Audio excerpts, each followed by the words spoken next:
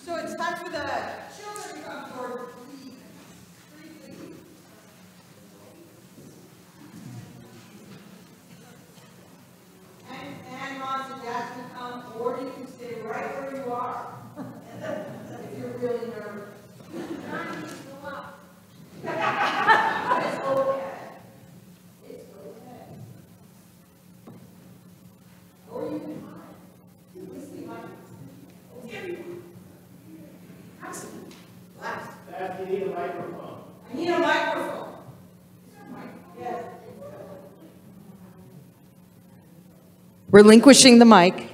Now you're in trouble. Hello. So today, we're going to talk about names. All right? So, because we don't know each other, right? So, do you know this man's name? Papa. Very good. So, Papa is right here. Do you know this little girl's name? What's her name? Emmy. Hi, Emmy. It's nice to meet you.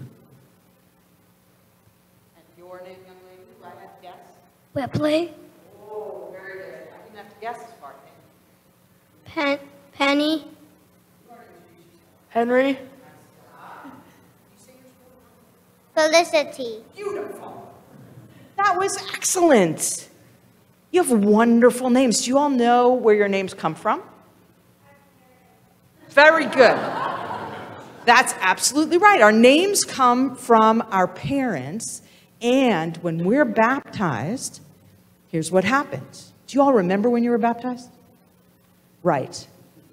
It's hard to remember then because some of us were very young, right? In some traditions, we baptize babies. In some traditions, we baptize grown ups. But when we're baptized as babies, it's tough to remember what happened. But two things happened that I want to remind you about. One is you got wet. Yeah, you got wet, just like swimming, right? You got wet. And how come you got wet? You got wet because one, We get wet every day, right? Most of us, how many of you take baths? Oh, actually, don't tell me. Um, sorry. I don't want to know because I have an eight year old, so no. Um, so we often take baths, some, some more than others. Um, we often take baths, and it's a way for us to get clean, but we're also in the water every day. Like the swimming pool, very, very good. We're in the water every day, and so every time we touch water, we can remember our baptism. And every time somebody says our name, we can also remember our baptism because when we said your name during baptism, we reminded all of these people out here. See all these people? You don't know them all, and that's okay. You know your grandma, thank goodness. Well, just look at your grandma. That's the important one. So, once they learned your name, you became their brother or sister. You became part of their family. Two brothers? So it's you, two brothers, became part of this huge, huge family. Amazing. Amazing. And you have one sister. That's great. And you and your sister, excellent. Excellent identification. The four, oh my gosh. It's incredible. So all of the brothers and sisters become part of this big family that's part of God's family. So every time you brush your teeth or wash your hands or take a bath or wash your face, you touch water or take a drink. And remember, when you do that, you want to remember that God loves each one of you. God knows your name, Emmy and Ripley and Papa and Henry and wait, Felicity and wait, Penny. And not only does God know your name much better than I do, but God loves you and is glad. And He made you and is glad you're part of His family. So let's say a prayer. Gracious and loving God, thank you for bringing us together, for knowing our names much better than our pastor right now, and for loving and caring for us and making us part of your family. Amen. All right, you can head back to grandma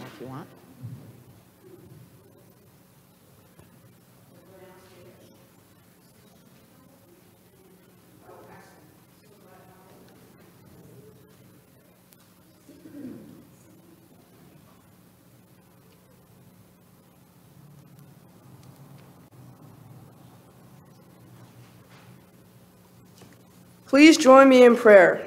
O God, in the transfiguration of your Son, you confirmed the mysteries of the faith by the witness of Moses and Elijah, and in the voice from the cloud, you foreshadowed our adoption as your children. Make us, with Christ, heirs of your glory, and bring us to enjoy its fullness. Through Jesus Christ our Lord, who lives and reigns with you in the unity of the Holy Spirit, one God, now and forever. Amen. God is vaster than the night sky, brighter than the sun, and wilder than a tornado. Yet, God loves us enough to come to us in ways that we can see and understand, including Jesus Christ. Let us open our hearts to God, confessing the ways that we have fallen short of God's call to love our neighbor and love the Lord. We can do so knowing that our Creator, who is both the Lion of Judah and the sacrificial lamb, listens. Almighty God, when we encounter beauty and love, wonder in the world, so often we seek to control it, to contain it. Forgive us for all the ways we seek to pull things under our power, for the ways we fashion the world and put ourselves first. We are selfish, God. We push aside your command to love in order to seek comfort. Heavenly parents, we take this opportunity to acknowledge our lies and our denial, laying bare our hearts and minds before you now. Stand up, take your mat, and walk, Jesus says to the crippled man he has healed. We too are healed. Transformed by Christ's redemption, let us get up and walk together. Thanks be to God. Having received this great grace, let us make our offerings of thanksgiving and praise.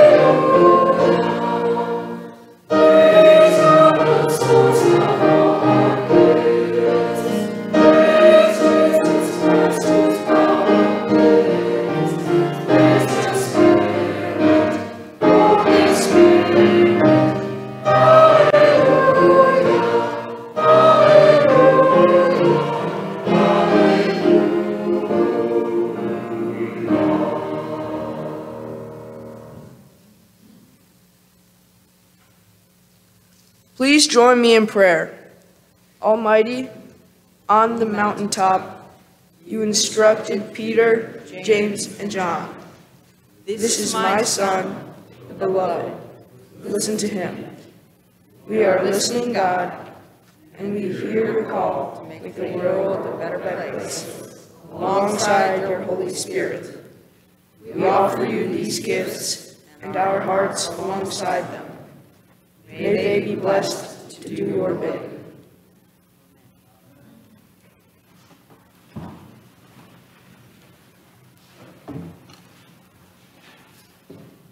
Thank you, Henry, for your help. See, Mom, it wasn't so bad.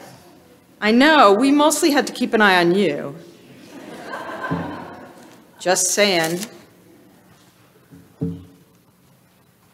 Our Hebrew scripture reading today is from Psalm 50, verses 1 through 6. You can follow along if you'd like, although not exactly word for word, on page 597 in your Pew Bibles. This is from The Message, a translation by Eugene Peterson. The God of God, it's God, speaks out, shouts, Earth, welcomes the sun in the east, farewells the disappearing sun in the west. From the dazzle of Zion, God blazes into view. Our God makes his entrance. He's not shy in his coming. Star bursts of fireworks precede her. She summons heaven and earth as a jury. She's taking her people to court. Round up my saints who swore, swore on the Bible their loyalty to me. The whole cosmos attends to the fairness of this court, that here God is judge. Let us join our praise with that of the psalmist, giving thanks for God's enduring word.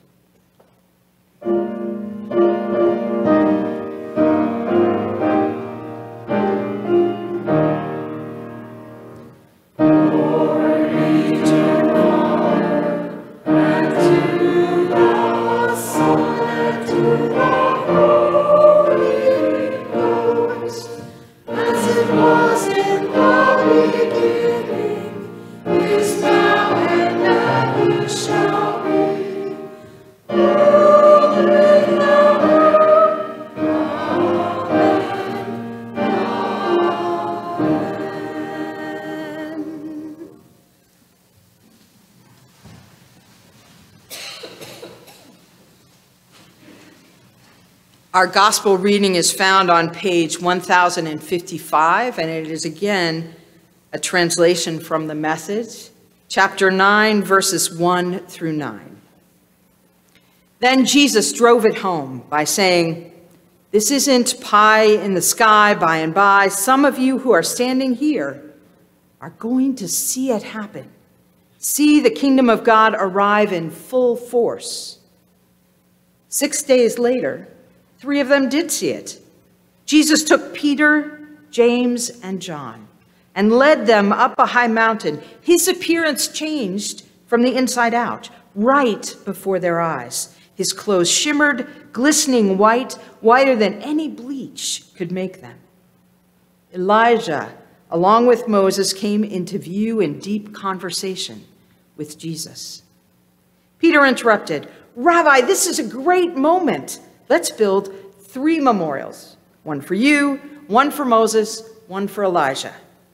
He blurted this out without thinking, stunned as they all were by what they were seeing. Just then, a light, radiant cloud enveloped them, and from deep in the cloud, a voice This is my son, marked by my love. Listen to him. The next minute, the disciples were looking around, rubbing their eyes seeing nothing but Jesus, only Jesus. Coming down the mountain, Jesus swore them to secrecy. Don't tell a soul what you saw. After the Son of Man rises from the dead, you're free to talk. This is the word of God. Thanks be. Let us pray.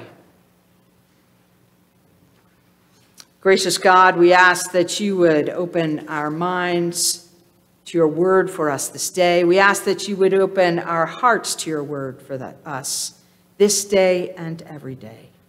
This prayer we offer in the name of your Son, Jesus Christ, who is the word to each one of us. Amen. Well, here we go.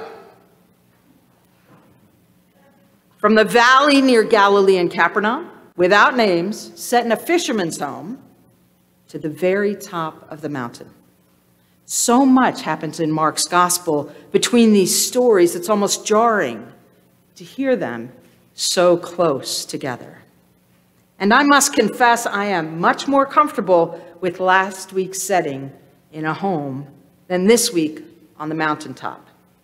It could be that much of my early mission work repairing homes involved roofing and I had to get over the terror of vertigo to keep the high school students who were up there with me safe, and of course, do my job, which was to make the house safer, drier, and healthier.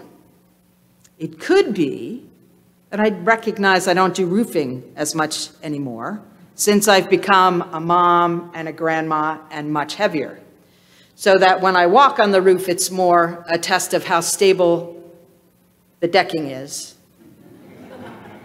than any actual roofing. And there's a constant fear on the part of my kids that I will roll off since I'm the right shape and die, being old and round, you know. And I'm not trying to scare them. I mean, really, don't we all feel this way? Uncomfortable with the sort of mountaintop experience that some will tell in their story of discipleship? I know I am firmly an ordinary means of grace disciple. By that I mean that my story of discipleship is firmly grounded in little things the ritual of worship, gather, hear the word, respond and be sent, water, bread and wine or juice, loving our neighbor through prayer or food, rides, hospital visits, a cup of tea or coffee, books and more books, a shared breakfast pastry. I've had glimpses of the mystery of God in my life, but they tend to be pretty ordinary. Birth, holding a newborn baby, sudden understanding, art, music, a dog's love, a cat's purr, death. One of the poets I enjoy is a UCC pastor named Maren Tirabassi. And she writes this, describing the way the light falls in her sanctuary as part of a series of poems reflecting on the Transfiguration. She says, I notice this. Someone centered the center of the Bible, that would be the Psalms, on the crack in the communion table rather than the cross. Perhaps the broken place in us in any church is exactly where its healing needs to fall and I reflect. Jesus went to a mountain with the five who joined him, stretching awkwardly as we always do across the chasm of generations. And Jesus let the shine and warmth fill his story, fill his cracks. In Mark, Jesus goes to the mountain, not alone this time, with some of his disciples, not five, but three in this story those early disciples, the rock. That's what Peter means. The twin who tried to take first place, Jacob or James. And John, also known as Grace. There, rising from the healing of a blind man that almost failed, Jesus had to do the whole process twice. And a terrifying prediction that they would all need to take up a cross to follow Jesus, God's kingdom turns Jesus inside out. The very love of God that is the core of Jesus that can change the world changes their familiar teacher into someone they can't recognize. Here's Tirabassi again.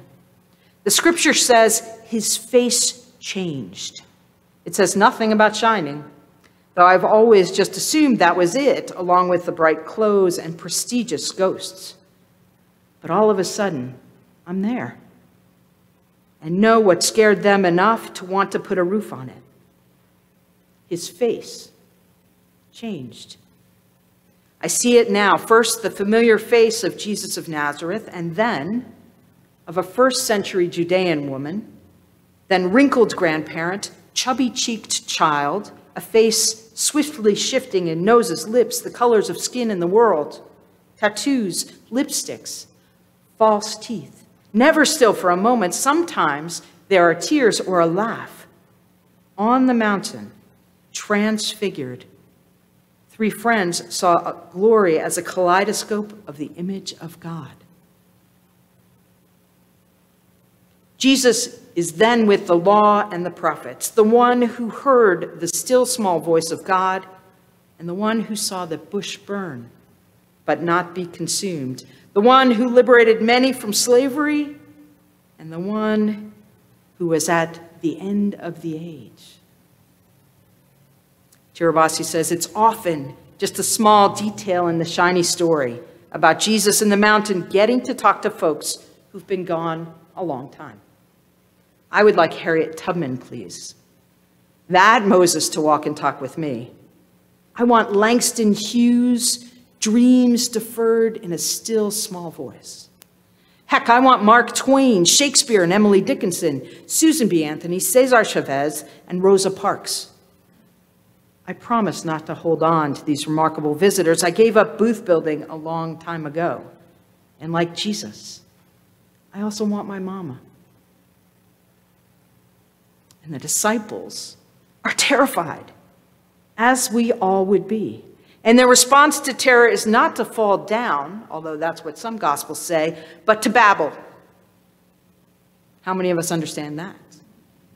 You've already seen a lot of that today and want to stay put and build. Tirabassi writes again, Today I realize it isn't about trapping God or making Jesus fit my definition, but it is our desperate adultness of wanting to shelter all the vulnerable and especially children from dangers of the road ahead, from hunger and familial abuse, razor wire and dumb bombs, in Rafah and anywhere in the world. From the heating of the earth, the worldwide rising of fascism, we are as terrified as they were, and we want to build safety. Not for ourselves, but for all those we love. When sometimes we are called to go downhill and face it all. As all disciples must choose to stay in the extraordinary, come down in the ordinary, they are stopped by a voice that speaks without words, straight into their hearts, their minds, and their souls. Given words that describe the extraordinary, the mystery, the amazing good news that God's family includes all of us.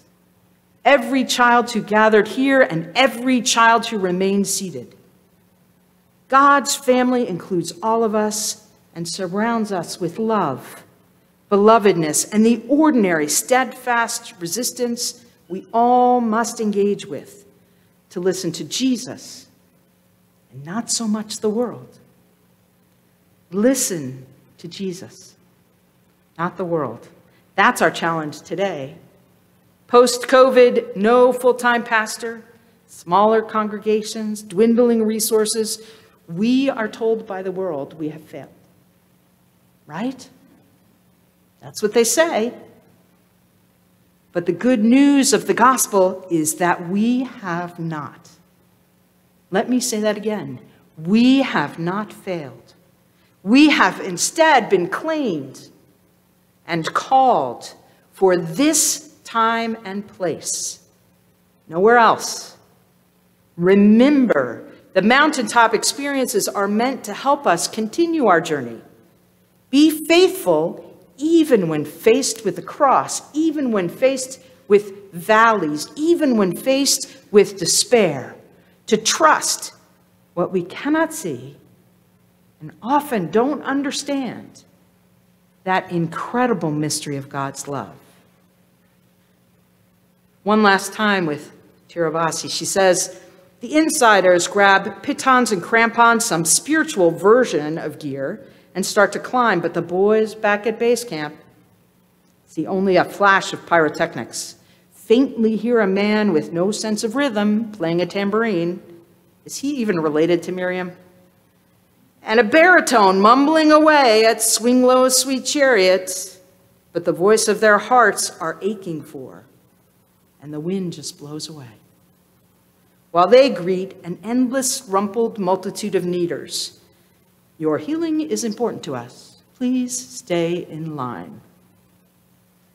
And even after the shiners and the shriners return with their precious secrets, Judas and Thad, Tom, Nate, Andy, and the others are already the saints of the left out.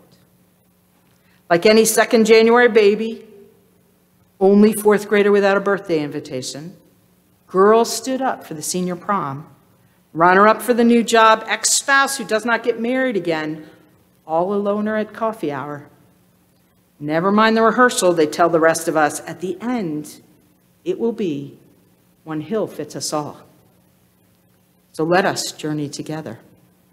Disciples of some sort, seekers looking for something, broken people searching for wholeness, Let us journey together down the mountain and remember the love of God, the warmth and the light that fills our cracks, the kaleidoscope of God's image in our world, the conversations we have had with the past and can have now with the current saints, the desire and the will to shelter and feed and love our neighbors, and the amazing good news that the saints of the left out, like us, remind us the good news is for each one of us, each child gathered here, that we are claimed, that God knows us by name.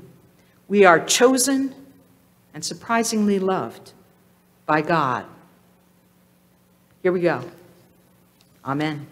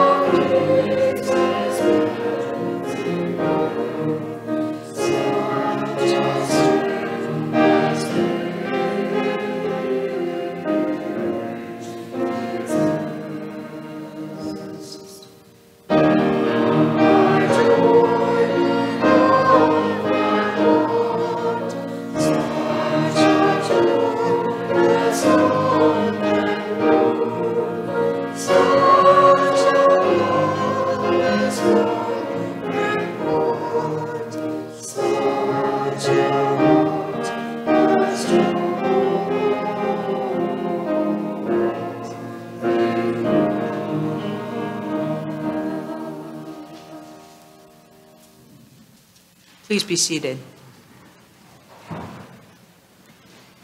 Gracious and loving God, we ask your prayers for our world, for the places in our world that are torn apart by war and violence of all kinds, cities and countries that continue to think the best way to solve disagreements is through death and not life. We ask that you would encourage us encourage us to bring hope, to bring conversation, to bring love to those places. Gracious God, we ask that you would open our eyes to the needs of the world around us. Places far away and places close to home that are struck with natural disasters, that suffer from too much water or too little that suffer from too much heat or too little, that are changing in ways that kill our crops, in ways that harm our animals, in ways that tear apart the very ways we have learned to live together. Help us to bring hope to bring conversation that leads to solution and working together and to bring love. Gracious God, we pray for this nation, where often conversation is a scarce commodity, where often we do not seek to listen so much as to form the next argument.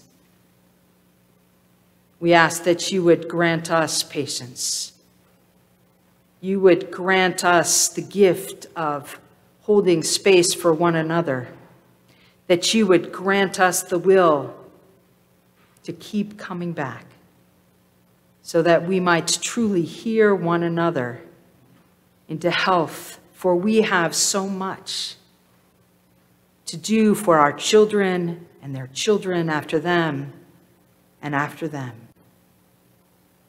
Loving God, we pray for each person gathered here, for our children, for our families, and for those we love who are not right here now. You have heard our prayers lifted up, and we ask that you would help us to hear each other's needs. Look into our hearts, look into our souls, look into our minds and our bodies that we might offer one another healing and wholeness. This prayer we offer in the name of your Son, Jesus Christ, who taught us to pray together, saying, Our Father, who art in heaven, hallowed be thy name. Thy kingdom come, thy will be done, on earth as it is in heaven. Give us this day our daily bread. Forgive us our debts as we forgive our debtors. And lead us not into temptation, but deliver us from evil. For thine is the kingdom, and the power, and the glory forever. Amen.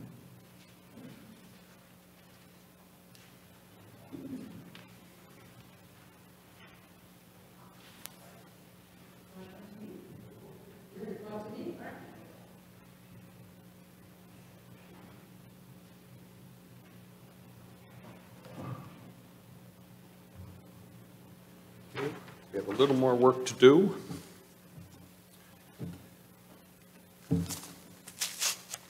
Glasses.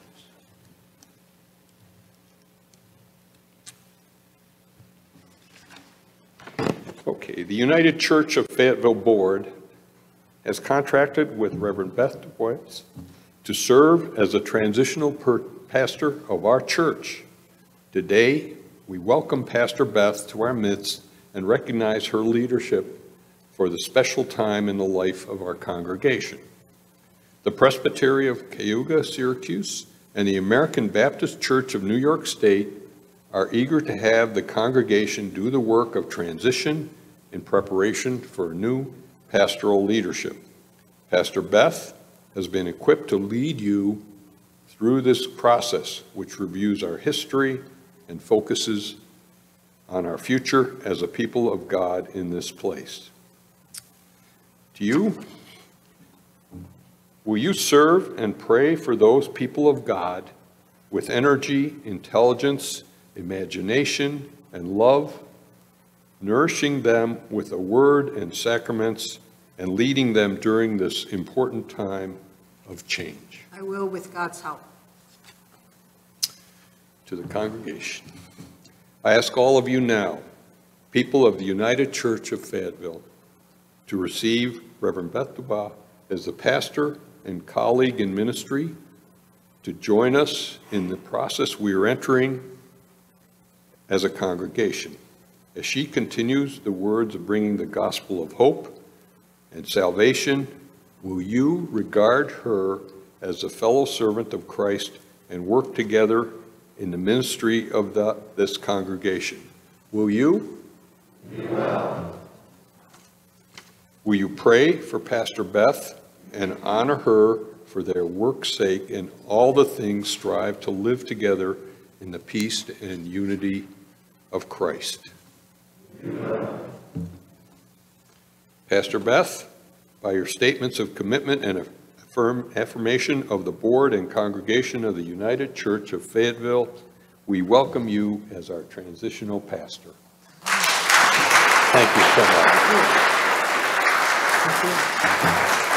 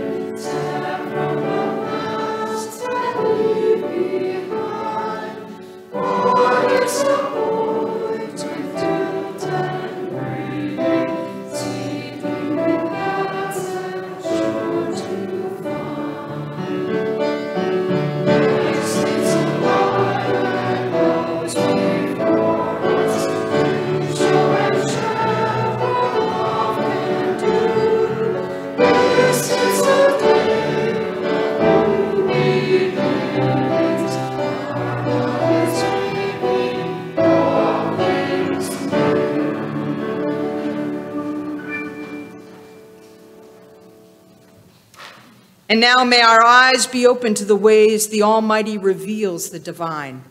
It may not be as grand as the Transfiguration, but it is there in the whiteness of snow or the brown of mud, in the love of animals, in the joy of a good meal, in the beating of our hearts. Take time to drink in the wonder of this life and then go out to share it with others.